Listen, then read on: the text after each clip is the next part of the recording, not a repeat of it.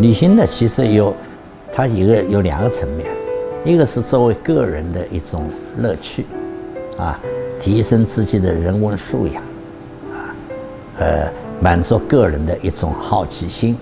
这是从个人的层面的。那另外从工具层面呢，这个旅行的实际上就是一个实践，一个考察，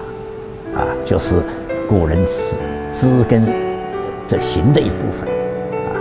那么我呢，实际上并没这个福气呢，去做个人的旅游。我基基本上是利用了我的专业的这些考察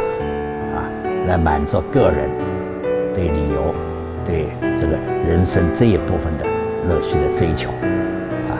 因为一方面呢，这个以前自己个人也没有条件啊。你看我们年轻的时候，我刚刚开始工作六五年的时候。啊，我的工资是三十七块，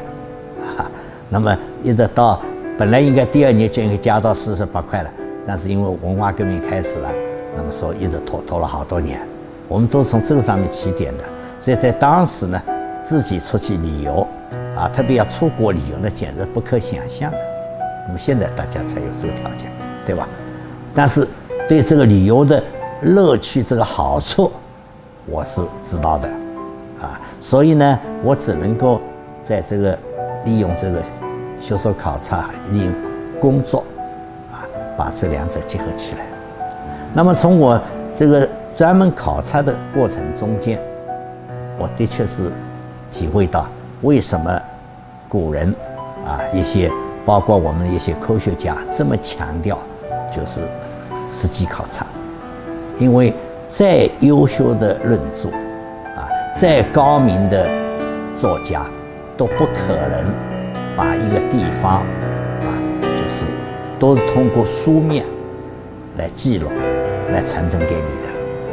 而且同样一个地方，个人的着眼点不同，关注点不同，啊，兴奋点不同，所以往往呢，就他所记录的东西，哪怕是作为科学考察，也不一定能满足你自己的需。啊，所以我们做研究，特别研究历史地理啊，研究一个就今天还可以去通过考察方法来探索的事物，那么我觉得这个实地的考察是不可避免。